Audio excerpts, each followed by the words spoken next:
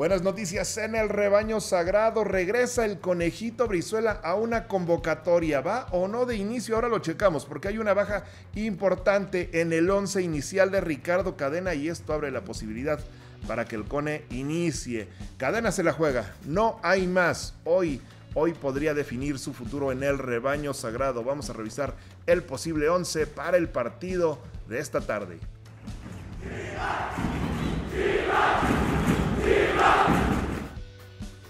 Saludos chivermanos, bienvenidos a la Nación Chiva. Hoy el Guadalajara se juega prácticamente todo el torneo y es un partido sumamente complicado. Vamos a platicar de esto, pero antes, antes nos unimos solidariamente y le enviamos un fuerte abrazo a Pavel Pérez y a toda su familia, porque desafortunadamente se informó del fallecimiento de su abuelito José Guadalupe Pérez Torres. Un fuerte abrazo.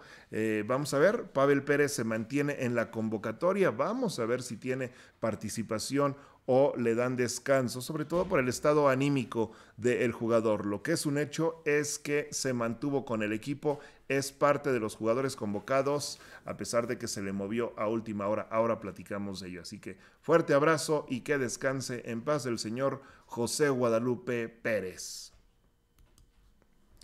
Bien, eh, pues bueno, démosle vuelta a esta, a esta página y hablemos de algo positivo para el equipo que me parece que hay más cuestiones eh, negativas que positivas y este equipo tendrá que salir adelante. Hoy se juega el pase, hoy se define prácticamente eh, el trabajo, de, iba a decir del torneo, pero hablemos de la era de Ricardo Cadena, porque lo que pasó antes, eso de verdad queda para el olvido. Este torneo se rescató a partir de que llegó Ricardo Cadena y hoy se la juegan este, este equipo. Hay una buena noticia, dentro de todo lo malo hay una positiva y es justamente el regreso del conejito Brizuela, que eh, esta semana ya lo habíamos platicado y había entrenado con el equipo. Yo creo que no está al 100%, sobre todo físicamente, después de las semanas que no ha tenido participación, no podemos esperar que esté al 100%. Justo antes de grabar este video, eh, yo eh, pensaba que no tenía de iniciar. Sin embargo, pues se ha anunciado una, una baja de última hora y me parece que podría ir de inicio. Ahora platicamos de este posible 11. Antes los invitamos a quienes no son parte de la Nación Chiva a que le den clic al botón de suscribirse. Denle clic también a esa campanita de las notificaciones para que les llegue el aviso cada vez que haya novedades en el Club Deportivo Guadalajara. No se les olvide dejar su like y a los que dejan su comentario, muchas gracias. No alcanzamos a, responderlos todos, pero todos los leemos, créanme. Muchas gracias. Bien, una baja de última hora en el rebaño sagrado. Se anuncia que el Charal Cisneros no podrá estar en el partido del día de hoy. Eh, presenta malestares respiratorios. Se informa que de momento se descarta eh, COVID pero no va a tener participación. Incluso hay una eh, corrección en la lista de los jugadores convocados y el Charal no va, no va a poder jugar. Una lamentable baja porque em, yo sé que durante la era de Leaño, todavía con Bucetich, era uno de los jugadores señalados a salir de este equipo. Sin embargo, a partir de que llegó Cadena, me parece que el Charale resurgió, tomó un buen nivel, una buena forma física además, y era titular indiscutible. Desafortunadamente, pues hoy no va a poder estar. Ricardo Cadena se la va a tener que jugar con modificaciones de última hora. ¿En qué momento? ¿En qué momento se presentan estas, estas situaciones? Lo de Pavel Pérez, el estado anímico, eh, la lesión de Cone Brizuela que hoy regresa y esta eh, ausencia de última hora del Charal por lo que les comentamos. Ahora, ¿cómo va a jugar Ricardo Cadena para el día de hoy? Eh, es una auténtica duda la que tenemos porque lo simple, lo normal sería que si se lesionó el Charal Cisneros, pues nada más sale Charal, entra el Chapito. Pero no creo que sea así porque, eh, reiterando lo de Pavel Pérez, yo no sé si Pavel Pérez vaya a ir de inicio. Vamos a ver cómo, cómo estará en estos momentos. Seguramente ya lo están evaluando ahí eh, el cuerpo técnico del Guadalajara y podría darse este ajuste.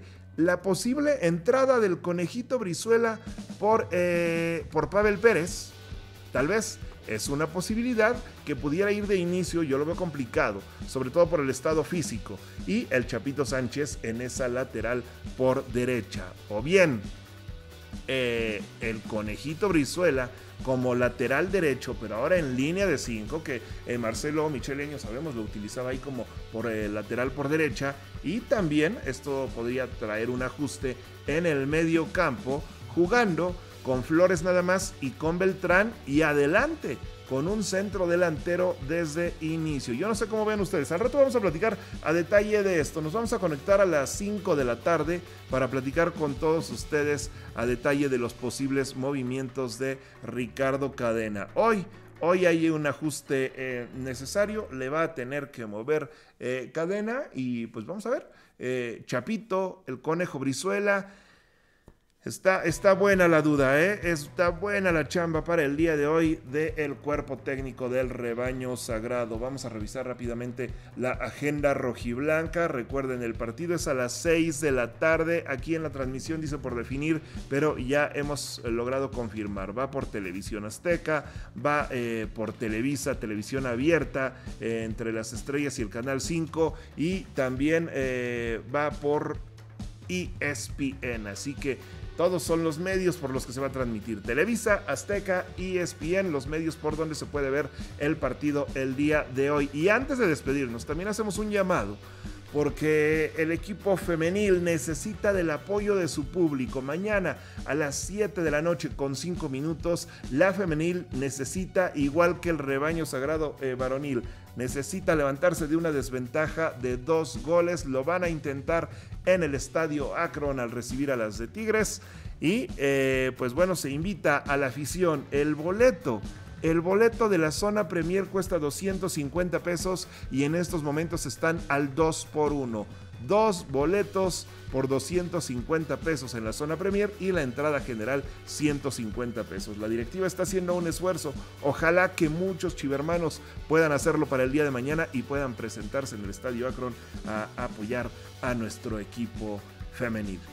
Bien, hermanos, pues así las cosas. Nosotros nos vemos eh, alrededor de las 5 de la tarde para platicar de toda la información previa a este encuentro. Que haya mucha suerte para nuestro rebaño sagrado. ¿Se le puede dar la vuelta este marcador? Por supuesto que se puede.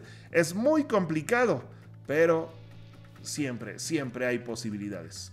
Volvemos más tarde al próximo video. Ahora será en vivo de la Nación Chiva.